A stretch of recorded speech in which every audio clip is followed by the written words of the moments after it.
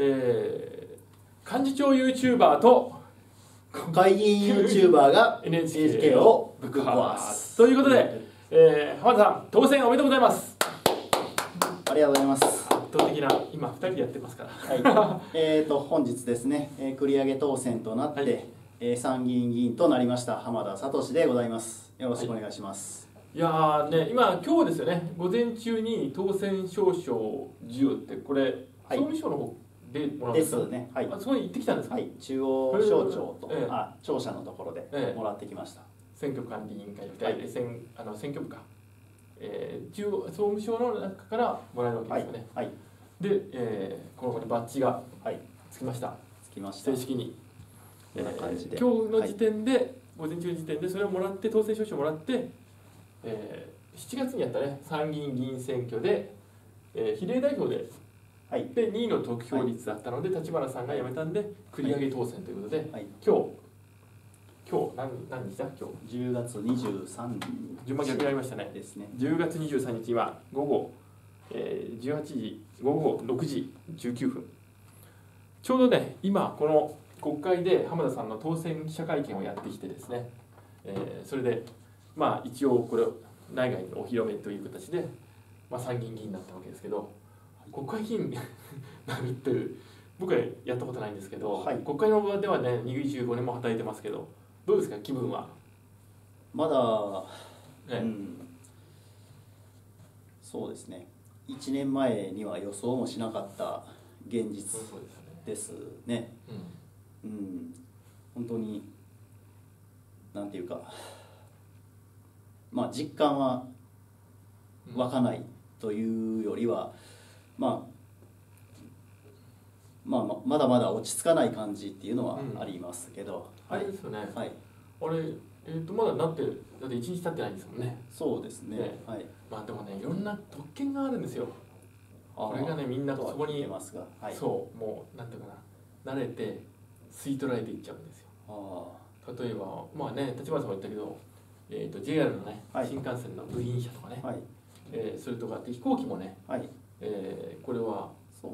えっ、とね飛行機はねもちろんパス 4, 4往復かな1ヶ月にえっ、と何枚もらいました？3枚ですね。あもう3枚で自分の場合はそのうん。岡山はいにも住所がありますので、岡山と東京を行き来するのが、えー月に3枚あ3往復分もらえるということになります。昔僕一緒時代は、はい。あのね、新幹線と飛行機をなんか選ぶみたいな感じだったんですけど、はい。両方もらえるんですか現在は今、うん JR だけのうん。っていうものと、うん。あと JR と飛行機。うん。飛行機その東京以外の方東京在住以外の方はうそのそこの地元と 3, 3往復分。ん、なるほど、とかあるいはあです、ね、JR 使わないぞとかいう方はうん。月4回4往復。沖縄とか北海道の方がそうだよね。JR 使いますもんね。はい。なるほどね、まあ、この特権がこれが実はね慣れてくると既得権益になるんですよね。あだから立花さんなんかやっぱりねここに対して自分がもうダメなんじゃないかということではい。やめるって結構なかなかすごい勇気ですよね。そうですね。でで既得権益の部分では例えば飛行機もねあとねあの公用旅券っていうのがもらえるんですよ。公用旅券って緑色のパスポート。今日本だとパスポート、えー、と10年が赤でしょ。はい。で5年が青かな青ですよね。紺紺色のやつ。でね公用旅券っていうのが、はい。えー公用パスポートって言うんですけど、まあ、公用ね。公用っていうのは。これがね立花さんパスポート持ってなかったから概要言ってないけど公用旅券正式にね。これが発見されてくるパスポートの色が違うんです。今言ったように。パスポートがこれですよ。こんな色。表紙が緑まさにでねこれ持ってるとへまあもちろん手続きは事前にするんですけど、えー基本的にはどの国も、はい。えー税関とかなしする。も待たなくていい。う持たなくて待たなくて普通だったらチェックするじゃないですか、はい。今は顔認証とかありますけど、はい。あれもなくて要するに横にあのパイロットの人とかはい。通る道ありますよね。はい。あそこですって言って。あそうなんです、ね、カバンチェックもないでこれを悪用してる昔議員がいてそれで麻薬を輸入してたやつがいたんですよ。えー。名前言わないけど。そう。でまあそれもすごいしあとね飛行場も例えば羽田空港なんかもはい。国会議員専用のラウンジがあるんですよ。使いました？そうなんですかあれ第一ターミナル第一第二ターミナルでしょ？羽田空港。ああ羽田はあまり使わない。あそう。あれね来なかったんではい。専用の、はい。国会議員専用の入り口とラウンジなんです。あそうなん入り口のところにもうね空港入ったところのはい。誰も行かないところですよ。駐車場みたいなのをパッと回ってそこに国会議員専用の車スペースがあってはい。置いてでそこから入るともうすぐラウンジなんですよ。あでそれを抜けるともう飛行機に乗れる、まあ、これね特権を説明してどうするんだね でこれをがこうなってくるんだけど、ーはい。なんかでも浜田さんもねなんかやっぱり N 国党のいいところはそういう特権会国旗特権駅じゃなくて一般の人と一緒のはい。立ち位置じゃないですか。うんうん。だからねこういうものもできるだけ立花投手なんかは、まあ、やっぱすごい偉いと思いますよ。こういうのはあってつかないんですから。でねあこれ俺俺のあの立花さんがやっぱその部分で最初に僕ね、えー当選した後に、えーまあいろいろ手届け出とかねあるんで。はい。どうしますか？って立花さんが言ってこういうのもあるんですけどまずあの議員宿舎はい。参議院宿舎あるわけですよはい。清井町のところに。はい。でこれは入りますよと。はい。あの参議院の比例だから、はい。でしかもねえーっとどこだっけ？えーっと千葉かなんかにえー東奔あったんでしょ？当時。今は市川。あ市川じゃない船橋。船橋ですね。そはい。あの優先的に入れるんです。だから「ありますか?」って言ったら「いりません」もう要するにそういうのにまあ非常に便利だしうん。安いし。で山本太郎さんなんか東京選出なのに使ってましたからね。へー。意外とこっち行っちゃってるんですよ。実は。6年間かかると。最初当選前はねこれに対して反発してたんだけどまあだんだんやっぱりねいい意味も悪い意味も含めて政治家の顔になってくるん。です国会議員もやっぱり太郎さんなんかね、えー堂々とねほらあのなんだっけ、えー、と議員宿舎、はい。えー入ってるわけです。だから6年後に、えー出る出なくちゃいけなかったわけじゃないですか今回当選しなかったんで,、ね。でどうなったかというともう家もありません。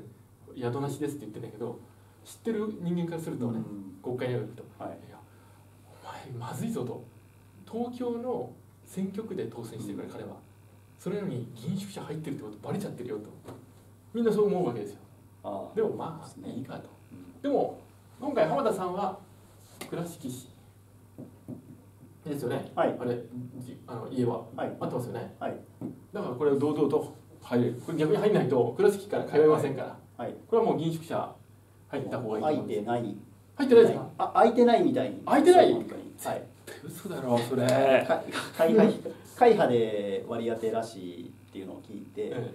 でもそれもなんていうか本当に空いてないとは聞きました、本当に、はい。でもね、はい。だって参議院の議員数は減ってるんですよ。うん。減っててでしょ、はい。でしかもあの参議院議員宿舎ってねはい。あの清井町の交差点から文芸春秋の脇から、はい。えニュータンに向かうところの右側にあるんですよ、はい。でそこは、はい。要するに昔から同じ人数で使ってるからはい。空いてないっていうのはおかしいんですよね。ちょっと調べてみよそうね。う嫌がらせしてるかもしれないし、あるいは誰か話で聞いたんで。借りちゃいけない人が借りてる可能性あります。今の山本太郎さんみたいに。山本太郎さんは本当は借りちゃいけないんですよ。優先権ないから。はい。東京選挙区で当選した人は自分の家かなんかあるはずだから、はい。そこに住まなくちゃいけないんです。よ、はい。だからもしかしてちょっとインチキしてるかもしれないな。こうやってね少数政党は意外とね嫌がらせされるんです。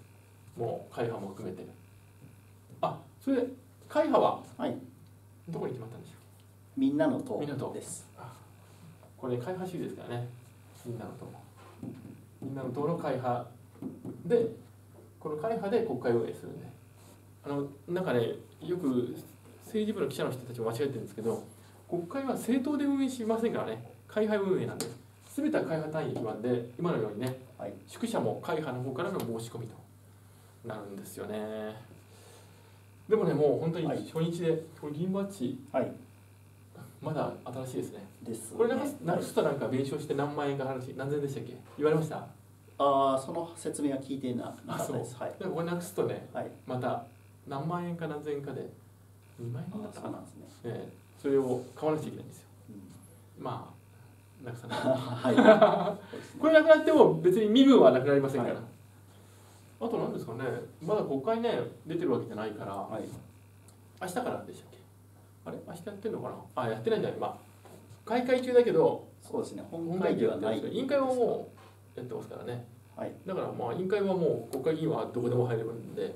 ただいいんじゃないからはい。発言権はないんでオブザバーで、えでもよくね、はい。乱闘あるじゃないですか。はい。乱闘あったんですよ。ああの時はもうねまあみんな全員最初から呼ばれてはい。で禁則かけられてあ禁則っていうのはああの基本的に国会の中にいろよと。もしくはもう議員会館を含めこれがかかってでもう待機してで乱闘になった瞬間わーっと行くってあのメジャーリーグみたいな。はい。で本当に大乱闘の時はもう秘書まで動員されて昔の新進党時代の小沢一郎さんが幹事長代表あ代表幹事の時は僕もあの秘書だったんだけどもう全員ピケって言って国会の第一印象を封鎖するんですよ、でテレビが回ってる昼間とかははい。議員がこうやって座ってるんですよ、はい。で夜になるとねあのテレビカメラを帰っちゃうでしょ？はい。そうすると自分たち映んないもんだから、はい。全員秘書に返させられちゃう。でもう動いたら崩れちゃうからはい。相手に。だもう椅子とか積み上げてもうレ・ミゼラブル状態、はい。でそれで秘書がここに守るんですよ。なんなんだろう国会って思いましたけど。今はねピケもやってないんで。ピケピケ懐かしいな。何の話でしたっけ？ああ浜田さん当選の話これね国会のあの慣例っていうかね風習で国会議員のことは議長とかね委員会でもね天田聡君って君付けなんですよね。ですね、ええ。はい。で今ちょっとね少し女性も増えてきたんで女性もね例えば小渕優子君とかね野田聖子君とか言ってたんだけど最近はねさん付けの人も出てきました委員長によっては、えー例えば、えー渡辺芳美さんとかねところどころあの少しさん付けの人が出てくるんですけどチェックしています。なんか慣例で君付けで呼ばれるんで、はいこれはあの別に相手が君付けで呼んでもはい。威張ってるわけじゃなくて、はい。国会の慣例なんで、はい。決して怒らないでください、はい。はい。大丈夫です。絶対怒ったことなさそうです。ねはい。怒ったことあります？あそれははいあります。すはい。そうですか、はい。えー私には怒らない。気が小さいんで。私も気が小さい。まあとりあえずねあのやっぱ国権の最高機関である立法府の一員ということでまあねそれをいろんな責任も、えーあるだからこそ特権なんですよね、はい。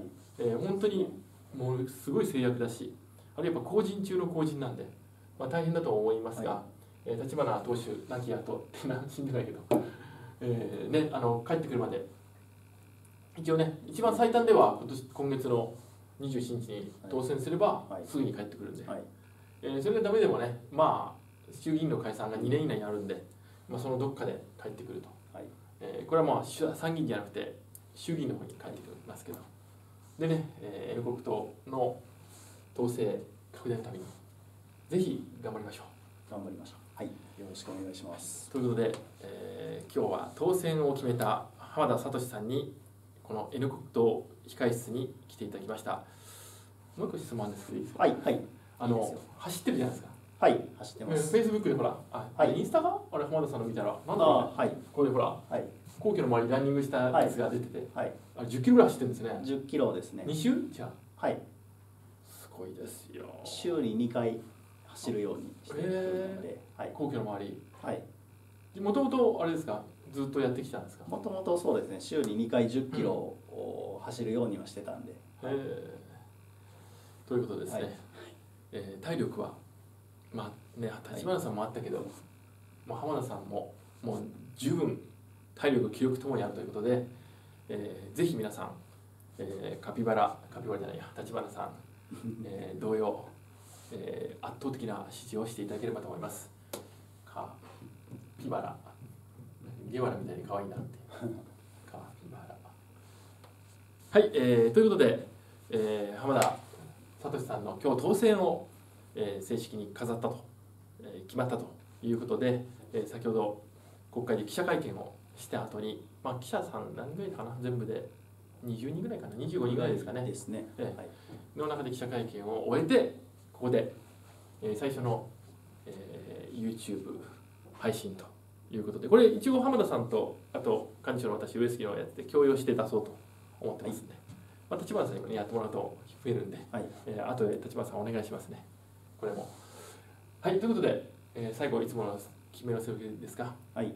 えーじゃあかんじゃあ私からいきますね、はい。えー幹事長 YouTuber と国会議員 YouTuber が NHK をぶっ壊す。ありがとうございました。どうも